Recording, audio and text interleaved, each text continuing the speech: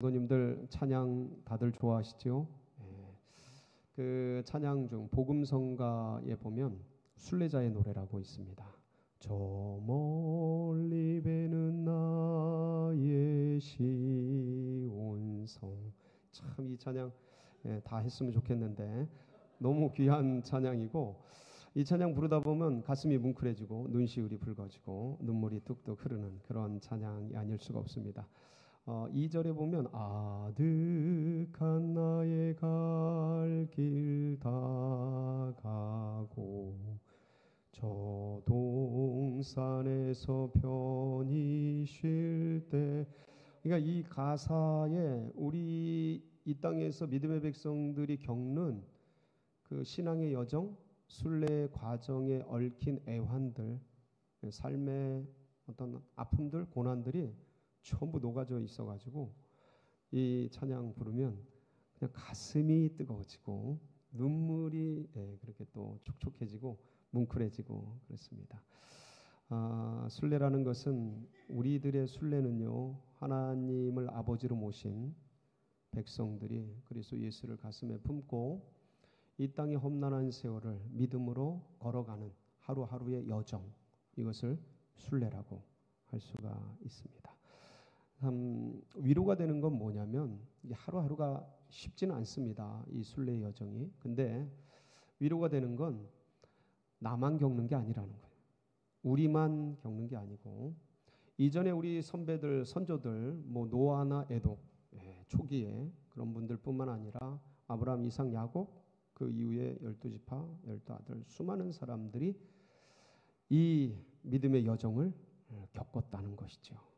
그래서 오늘 우리가 살펴보고 싶은 건 뭐냐면 어, 그 앞선 선조들이 걸었던 그 길을 이제 우리들도 따라 걷게 될 텐데 어, 이 구약에 나타난 믿음의 여정과 우리들 신약 백성들이 걷는 이 믿음의 여정 순례의 길을 좀 비교해 보고 그래서 우리가 어디쯤 있는지 그리고 우리가 어디를 향해 가고 있는지 네, 그래서 앞으로 나는 어떻게 해야 되는지 이런 것들을 한번 점검해 보고 어, 그리고 좀 각성도 해보고 제 다짐도 해보면서 우리가 달려가야 될 표대 그리스도 예수님을 다시 한번 가슴에 잘 새기면서 이 사순절 다섯 번째 주일 여러분들에게 이 시간이 은혜가 되고 복이 되는 그런 시간이 되시기를 축복합니다. 어, 특별히 출애굽 여정 속에 나타난 장면을 좀 보려고 합니다. 오늘 모세가 우리가 이제 신명기 1장 1절로 8절을 같이 봉독을 했는데 이 신명기는 모세가 지난 40년을 회고하는 그런 회고록이면서 이제 이 신명기를 끝으로 모세가 이제 소천을 합니다. 그러니까 고별 설교이면서 유언서입니다. 모세가 서 있는 위치는 어디냐면 광야 40년을 다 지나왔어요. 오늘 40년 11개월째라고 나와 있지 않습니까? 40년을 다 지나왔고 앞에 목전에 가나안 땅을 두고 있는 것입니다. 그러니까 뒤에는 모세 뒤에는 광야가 있고 모세 앞에는 가나안 땅이 있는 것이에요. 지난 40년을 회고하면서 하나님께서 어떻게 이 광야에서 우리를 먹이고 입히고 이끌어 오셨는지 하나님의 전지전능하심을 찬양하면서 그 하나님을 굳게 붙들어라. 예, 모세의 이 고별 설계의 의미는 그거예요. 그 하나님을 굳게 붙들어라. 그리고 주어진 이 가나안 땅을 차지해라. 어, 이런 말씀인 것이죠. 그런데 모세가 지나온 그 지난 40년의 광야 생활을 우리가 되짚어 보면 여기에는 하나님의 놀라운 영적 비밀이 우리 믿음의 백성들이 걷는 영적 순례 길이 무엇인지가 잘 표현되어 있습니다. 기억하시겠죠, 여러분? 모세는 나이 40, 80세에 하나님께 사명을 받아 부르심을 받게 됩니다. 그리고 애굽으로 들어가게 되죠.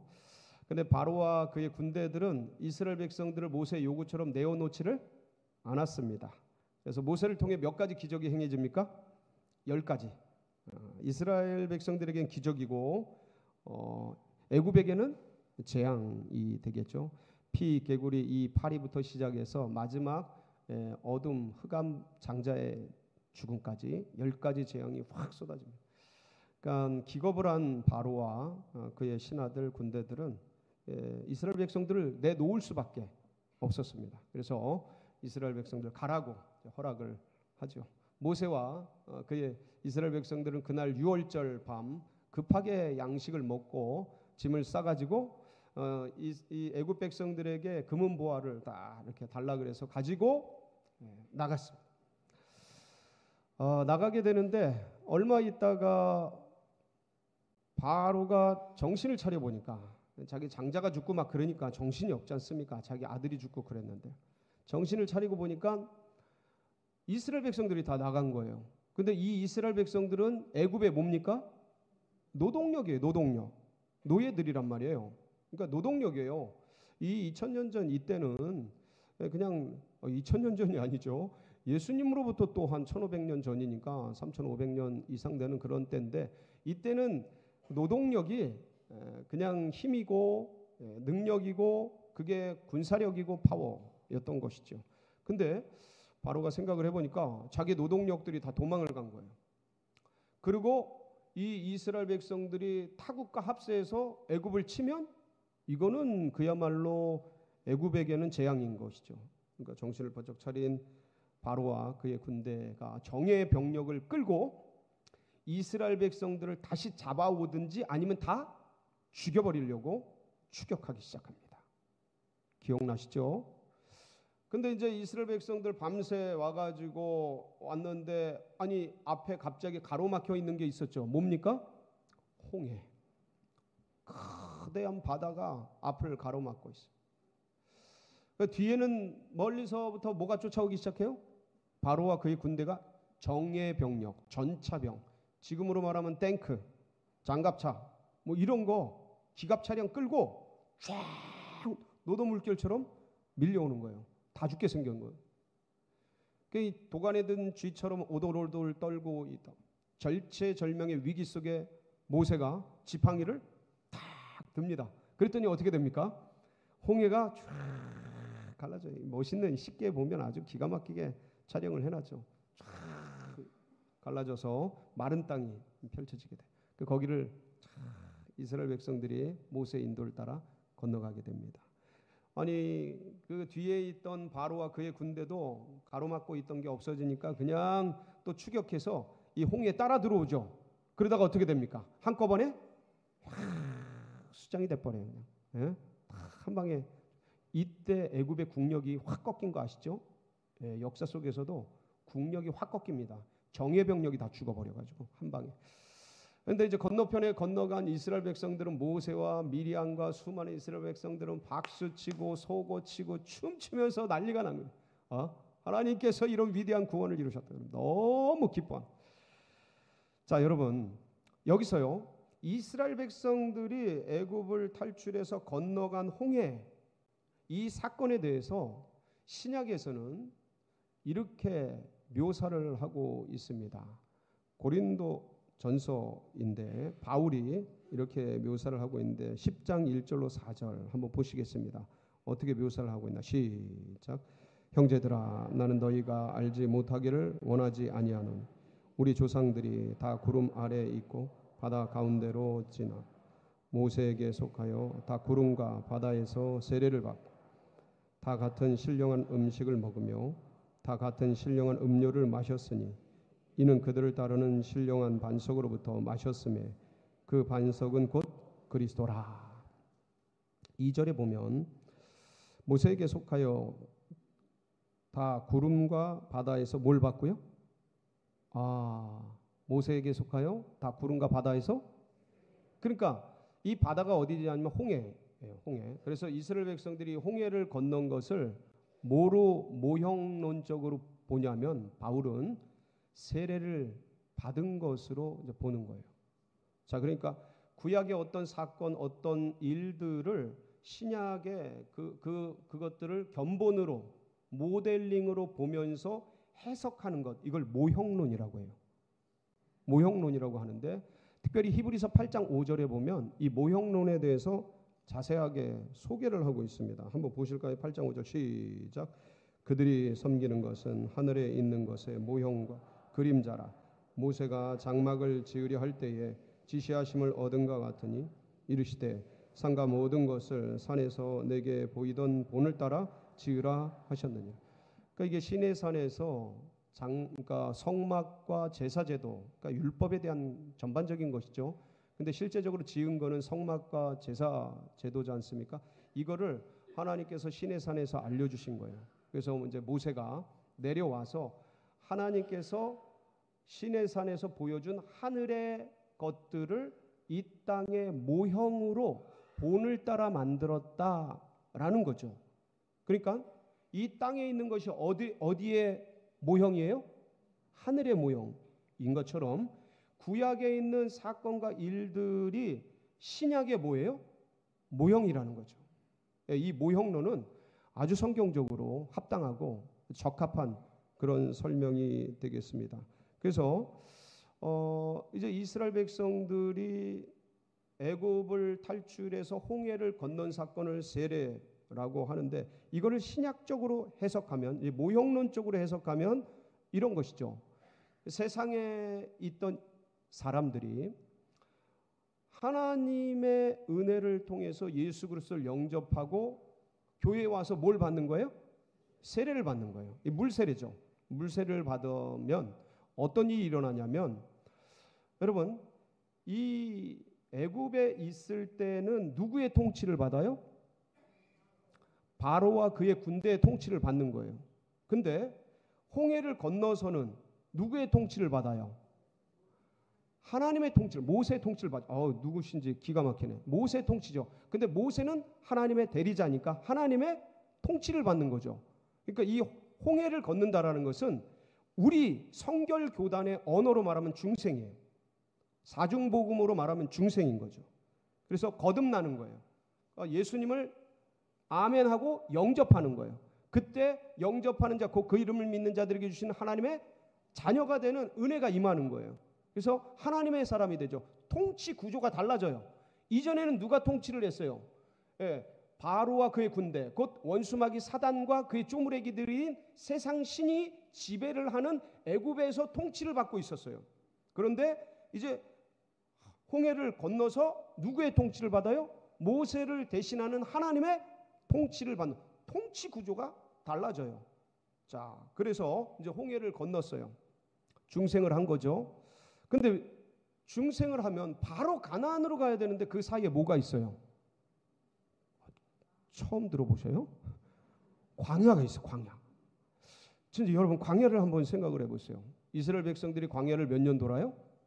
40여 년 돕니다. 40여 년 도는데 근데 이 광야에서는 낮에는 뭐로 인도해 주셔요? 구름 기둥으로 인도해. 밤에는 뭐로 인도해 주셔요? 불 기둥으로. 낮에는 더울까봐 구름 기둥으로 쫙 그늘을 만들어 주시고 밤에는 추울까봐 불 기둥으로 난로를 준비해 주시고 그리고 배고플까봐 매일 뭘 내려 주셔요? 만나를 내려 주시고 그냥 고기 먹고 싶다 그러니까 뭘 주셔요? 메추라기를 주시고 여러분 이 광야의 그 기후 날씨는 낮에는 장렬하는 태양 속에서 40도 50도 올라가잖아요. 예? 그리고 밤에는 영하까지는 아니겠지만 아주 그 영하 가까이 떨어지는 거예요. 그러니까 기온 차가 몇 도가 나요?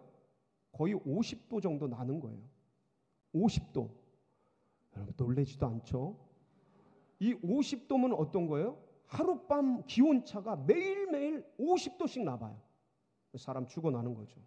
옷들이 다 해져야 정상이죠. 신발이 모래 속에서 돌 속에서 다 헤어져야 마땅하죠. 근데 하나님께서 옷이 닳지 않도록 지켜주시고 발의 신발이 헤어지지 않도록 보호해 주시고 낮에는 구름 기둥 밤에는 불 기둥으로 갈 길을 인도해 주시고 배고플까봐 만나함의 추락이 내려주시는 하나님의 인도와 하나님의 은혜 속에서 살아가는 이 광야 생활이 그런 기가 막힌 장소란 말이에요.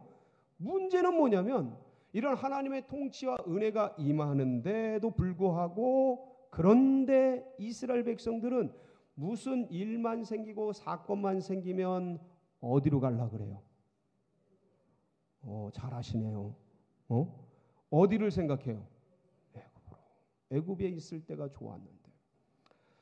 애굽에선 이런 것도 먹고 저런 것도 먹고 다 좋았는데 계속 예, 모세 아론을 대항해서 원망하고 불평하면서 하나님이 왜 우리를 이곳에 인도하셔서 우리를 이런, 데서 죽이려고 하시는가? 계속해서 어디로 돌아가려고 그래요?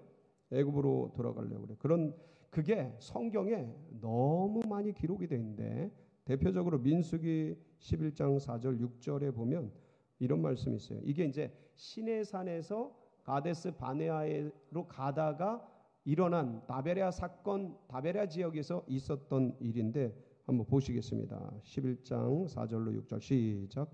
그들 중에 섞여 사는 다른 인종들이 탐욕을 품음에 이스라엘 자손도 다시 울며 이르되 누가 우리에게 고기를 주어 먹게 하랴 우리가 애굽에 있을 때에는 값없이 생선과 오이와 참외와 부추와 과도 마늘을 정시 생각나거늘 이제는 우리의 기력이 다하여 이 만나 외에는 보이는 것이 아무것도 없도다 하니 우리가 어디에 있을 때? 애굽에 있을 때 부추도 먹고 오이도 먹고 생강도 먹고 마늘도 먹고 있었는데 먹고 마시며 그런 거 있었는데 아 이 광야에는 아무것도 없구나. 예? 만나 외에는 아무것도 없구나. 그러면서 원망 불평 막 끊임없이 애굽에 있을 때가 좋았는데 애굽에 있을 때 그것도 먹었는데 민수기 14장 1절에서 4절은 가데스 바네아에서 정탐꾼들이 정탐을 하고 돌아서 10명의 보고를 받은 뒤에 이스라엘 백성들의 모습이에요. 그러니까 가데스 바네아까지 간 거죠. 많이 간 거예요. 같이 한번 볼까요? 어떤 음, 어떤 목소리들이 나오나 시작. 온 회중이 소리를 높여 부르짖으며 백성이 밤새도록 통곡하였더라. 이스라엘 자손이 다 모세와 아론을 원망하며 온 회중이 그들에게 이르되 우리가 애굽 땅에서 죽었거나 이 광야에서 죽었으면 좋았을 것을 어찌하여 여호와가 우리를 그 땅으로 인도하여 칼에 쓰러지게 하려 하는가? 우리 처자 사로잡히리니 애굽으로 돌아가는 것이 낫지 아니하랴. 이에 서로 말하되 우리가 한 지휘관을 세우고 애굽으로 돌아가자 하며 어디로 돌아가자? 애굽에 있을 때가 나왔다. 왜 여기서 죽이려고 그러는가? 여호와가 왜 우리를 여기서 다 죽여 애굽으로 돌아가자 애굽으로 돌아가자 자 마지막으로 이제 오랜 세월이 흘러서 다시 무리바 언덕에서 반석에서 이제 목마를 때 일어난 일이에요. 한번 보실까요? 민수기 20장 2절에서 5절 말씀 시작. 회중에 물이 없으므로 모세와 아론에게로 모여드니라. 백성이 모세와 다투어 말하여 이르되 우리 형제들이 여호와 앞에서 죽을 때 우리도 죽었더라면 좋을 뻔하였도다. 너희가 어찌하여 여호와의 회중을 이 광야로 인도하여 우리와 우리 짐승이 너희가 어찌하여 우리를 애굽에서 나오게 하여 이 나쁜 곳으로 인도하였느냐? 이곳에는 파종할 것이 없고 무화과도 없고 포도도 없고 석류도 없고 마실 곳도 없도다. 너희가 우리를 애굽에서 왜 인도해서 이 험악한 곳에서 우리를 죽이려 하느냐? 누구 어디 생각하는 거예요 애굽 애굽이 있을 때가 좋았는데. 그러니까 끊임없이 분명히 이때쯤 되면 하나님의 은혜를 알만도 한데 하나님의 매일매일 만남의 추락을 먹고 있고 구름기둥 불기둥이 지금 눈앞에 인도하는 게 보이는데도 사건과 일이 생기면 애굽으로 애굽으로 애굽에 있을 때. 이제 이게 뭐냐면 하나님의 통치와 은혜와 인도를 받는데도 속 사람은 여전히 애굽으로 그러니까 중생한 백성들이 지금 현실 속에서 예수 그리스도를 영접하고 교회를 다니면서 하나님의 은혜를 알고 하나님의 말씀을 믿고 따라가는데 그런데 속 사람은 여전히 아 옛날이 좋았는데. 여기 주일날 이렇게 예배드리고 있으면서도 어떤 분들은 여기 두 명, 세 명 계시는데 어떤 분들은 아 그때 등산 다닐 때가 좋았는데 아, 그때 야, 낚시할 때가 좋았는데 아 그러니까 그러한 그 옛 것을 생각하는 그런 게 같이 혼재돼 있다라는 거예요. 이 광야에는. 그러니까 분명히 예수님을 안 믿는 게 아니라 믿어요. 믿고 주님의 은혜를 알아요. 모르는 게 아니야. 그런데도 옛 성품들이 막 뒤섞여 있는 거예요. 이게 중생한 사람들이 광야가 믿음의 백성들이 이스라엘 백성들이 광야를 걸은 이유예요. 중생은 했지만 지난주에 말씀을 드린 것처럼 중생을 하면 하나님이 그 태어난 영적인 아기가 영과 혼과 육이 완전히 구원받은 것을 하나님은 인정해요. 근데 우리는 마치 아기가 지금 막 태어난 것처럼 생명이니까 생명으로 인제, 인정은 하는데 이게 자라나야 된단 말이에요. 지할 도리를 못해. 아직도 이게 내가 영적으로는 태어났는데 육적으로는 옛날 거예요. 정신적으로도 다 옛날 거야. 그러니까 이 사이에서 이 옛것이 벗어지는 과정이 뭐냐면 광야 시간이에요. 그래서 하나님은 중생에서 홍해를 건너서 바로 가나안으로 데리고 들어간 것이 아니라 어디를 겪게 하신 거예요? 광야를 돌게 하신 거예요.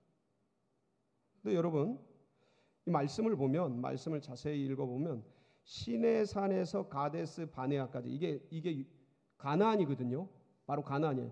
열 하루 길이니라라고 기록이 돼 있어요. 그러니까 시내 산에서 가데스 바네아 곧 가나안까지 열 하루 길이고 이 시내 산까지 끽해야 열 하루 길이라면 아무리 넉넉하게 쳐도 한 달이면 한 달이면 애굽에서 어디로 들어갈 수 있어요? 가나안으로 들어갈 수 있어요. 이렇게 헤매지 않아도 되는 거예요. 광야를. 그러니까 이 말씀은 무슨 말이냐면 중생 얻은 백성이 성령의 체험을 빨리 하면 빨리 할수록 이 광야 시간을 줄일 수가 있는 거예요. 바울 같은 경우는요. 예수님을 담에색 도상에서 만나고 주여 뉘시니까 난 네가 핍박하는 예수다 분명히 만났어요. 그리고 사흘 동안을 금식하면서 막 고민합니다. 기도합니다. 그리고 아나니아가 와서 뭘 줘요? 안수를 할 때 뭐가 임합니까? 성령의 세례가 임합니다. 그리고 바로 뛰어나가서 사명 감당하죠. 중생 기간 고민하고 갈등하던 기간이 며칠이었어요? 4일이야. 3일. 3일. 사흘. 근데 이스라엘 백성들 지금 몇 년째 광야를 도는 거예요? 40년. 광야 기간은 짧으면 짧을수록 좋아요. 그런데 어떤 분들은 예수 믿고 교회 다녀요. 믿음이 있어요. 근데 이 광야 기간에는 헷갈려요.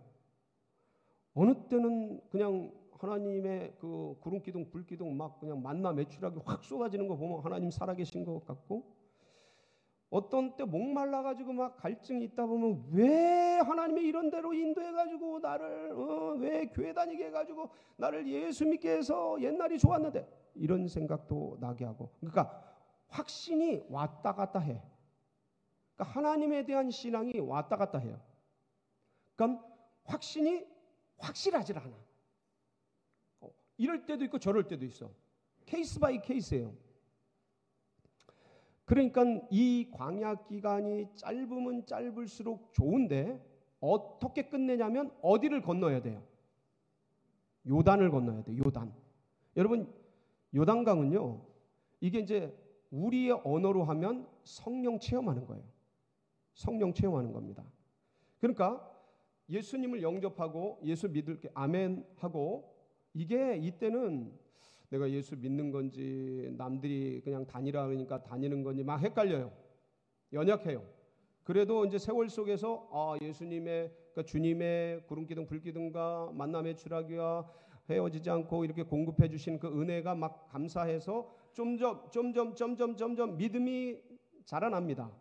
고난 당하고 어려운 일 당하면서 그러면서 넘어져서 다시 기도하고 일어나고 아 그리고 다시 말씀 붙들고 일어나고 또 넘어지고 죄악에 쓰러지고 유혹에 넘어지고 다투고 그리고 여러 가지 연약한 것들이 많이 나와요.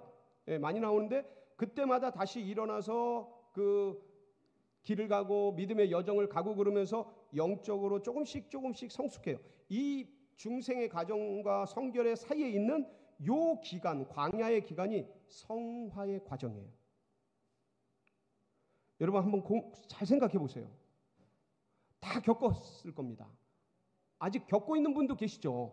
그래서 오늘 어, 비교하면서 내가 어디에 위치해 있는지 한번 돌아보고 서로 각성하고 어, 달려갈 목표를 다시 한번 바라보고 그러는 시간이거든요. 그러니까 이 시간에는 이 광야의 시간에는 어떤 그러니까 믿음이 뜨거웠다가도 좀 확 식고 막 이래요.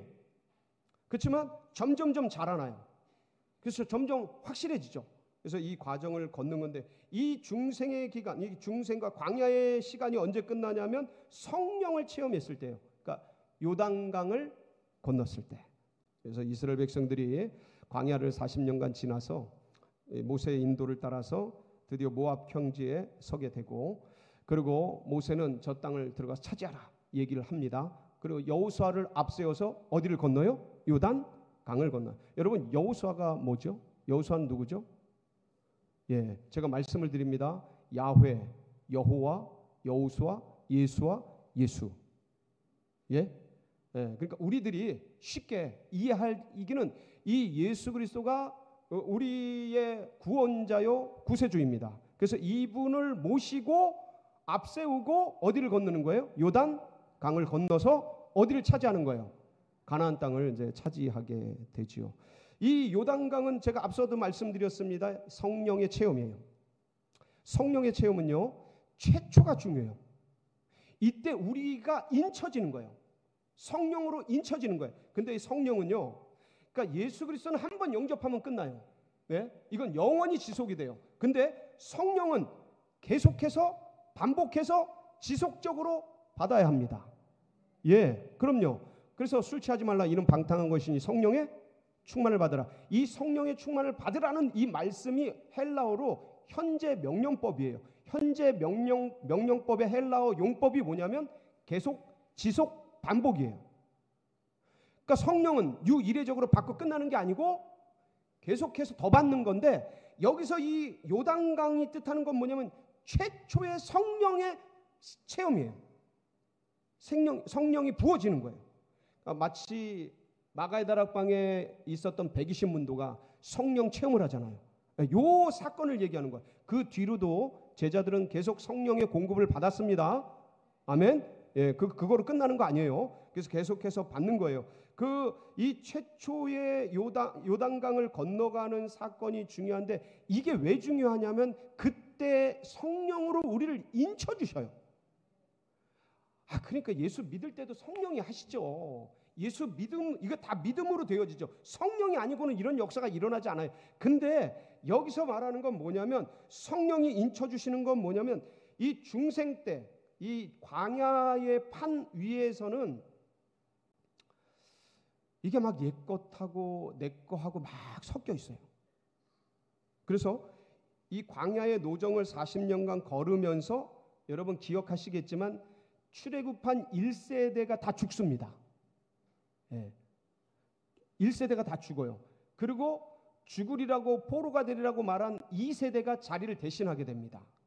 이들이 대신 가나안에 들어가는데 이건 뭐냐면 이 광야 기간을 지나면서 내 안에 있었던 옛 자아들 애굽에 있었던 옛 자아 있잖아요. 옛 성품 그게 다 죽어 나가는 거예요. 이게 성화의 과정이 씻겨 나가는 거예요. 그리고 예수로 된 새 새로운 존재, 새로운 나가 형성되는 거예요. 예, 이게. 그래서 주님을 닮아가려고 애쓰는 거죠. 그러다가 어느 순간 뭐를 받아요? 성령을 받는 예배 중에, 말씀 중에, 기도 중에. 근데 보통요, 이 성령이 임할 때 특징이 있어요. 홀로 있을 때 바울처럼 어거스틴처럼 홀로 있을 때 받을 경우가 있는가 하면 대부분은 공동체로 있을 때 받을 때가 굉장히 많습니다. 여러분 120 처음 태, 처음에 성령이 임할 때 어디에 임했죠? 오순절 마가의 다락방. 그때 몇 명? 120문도가 같이 있었어요. 그러니까 이게 혼자 혼자 있을 때도 성령을 받습니다. 무디 같은 경우 보면 길거리에서 막 성령 받잖아요. 그런 경우도 있는데 그런데 대부분의 경우는 공동체로 있을 때 이렇게 예배드리고 사모하고 같이 모여서 알파 수양회하고 어, 학생들 수련회 가서 막 기도하고 어, 앞에서 막 뜨겁게 기도하니까 자기도 그냥 기도해야겠다 그러고 그냥 눈 감고 중얼중얼 하는데 팍 순간에 임해버려요. 그래서 지나간 세월 동안 그 중생 했을 때 예수님 믿고 이것저것 배우잖아요. 학교에서 배우고 교회에서 배우고 예, 성, 선생님한테 배우고 목사님한테 배우고 이런 배웠던 것들이 갑 자기 성령을 통해서 재해석돼요. 이게 믿었는데 다른 믿음으로 그래서 어, 로마서 1장 17절에 보면 믿음에서 믿음에 이르게 하나니 이 말씀이 있어요. 그러니까 이것도 가짜 믿음이 아니에요. 분명히 믿었는데 더 깊어지는 성령의 조명 속에서 깊어지는 믿음으로 나아가게 돼요. 여러분 이런 은혜를 사모해야 됩니다. 그러니까 이게 성령의 아주 독특한 은혜예요. 예수를 믿고 중생한 사람도 믿고 의지하며 구름 기둥 불 기둥 따라갑니다. 예수 믿고 살아가요. 그런데 중생의 이 광야의 판때기에서 믿는 거랑 이 가나안에서 이 홍해 요단강을 건너가서 가나안의 판때기에서 믿는 거랑은 믿음이 질적으로 달라져요. 이때는 고민이 있고 어려움이 있으면 어디로 돌아가려고 그래요? 애굽으로 돌아가려고 그래요. 애굽으로. 근데 이때는요. 애굽으로 돌아가자는 소리가 성경을 찾아보세요, 한번. 오늘 가서 가나안 들어가서 애굽으로 돌아가자는 말이 있는지 성경을 한번 찾아보세요. 없어요. 그러니까 이 가나안 땅에서는 요단강을 건너서 가나안 땅에 들어가서는 정복 전쟁을 하는 거예요. 네, 성들을 차지하는 전쟁을 하는 거예요. 그러니까 이건 무슨 말이냐면 이제는 목표를 가지고 사명을 가지고 내가 해야 될 일들을 예수 그리스도 안에서 알고 깨닫고 그걸 점령해 가는 거예요. 내 안에 아직 점령되지 않은 일곱 족속. 예를 들어 언어의 문제, 감정의 문제. 아 이게 주님의 복음을 전하는데 방해가 된다. 그걸 점령하려고 몸부림치는 거예요. 이게 정복 전쟁이에요. 여기서는 방황하는 거예요. 여기 목표가 없어요.